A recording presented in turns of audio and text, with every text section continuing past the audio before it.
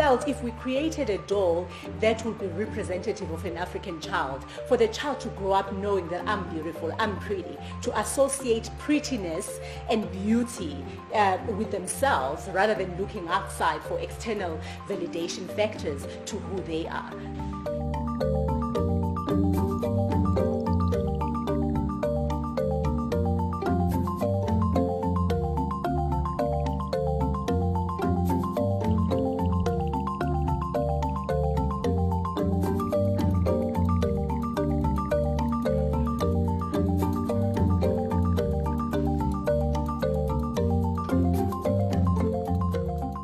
Also like it because we read the same. Um, the doll with the pink outfit or when she's wearing her yellow outfit. Um, when I bought her the doll, she was like, look, mommy, she looks like me. So now she's not trying to be what she's not. And she's able to identify with this doll. And for her, she says the skin color, her hair's like her, you know, and she also likes the fact that they smell like chocolate. So I think that's a bonus. Bye bye.